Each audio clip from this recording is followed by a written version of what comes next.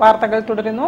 Legends photography club Kozhikode സംഘടിപ്പിച്ച ലിയാഖ് memorial photography മത്സരത്തിൽ പതിനയ്യായിരം രൂപയുടെയും ഫലകവും അടങ്ങുന്ന ഒന്നാം സ്ഥാനത്തിന് അഭിലാഷ് വിശ്വ മലപ്പുറം അർഹനായി.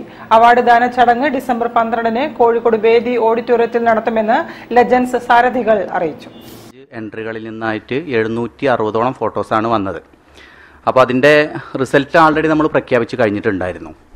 അതിന്റെ ജൂറിയായിട്ട് പ്രവർത്തിച്ചത് രാജൻ പൊതുവാൾ അതേപോലെ മാതൃഭൂമി ചീഫ് എഡിറ്ററാണ് അതേപോലെ പി മുസ്തഫ അതേപോലെ സുധീഷ് ഒരു ആർട്ടിസ്റ്റ് തൃശ്ശൂരിലുള്ള ആൾ ഇവരാണത് പ്രഖ്യാപിച്ച് കഴിഞ്ഞിട്ടുണ്ടായിരുന്നത് അപ്പോൾ അതിന്റെ ഒരു അവാർഡ് വിതരണ സെറിമണി നാളെ നമ്മുടെ കൈരളി തിയേറ്ററിലുള്ള ഒരു വേദി ഹാൾ വെച്ചിട്ടാണ് നടക്കുന്നത്.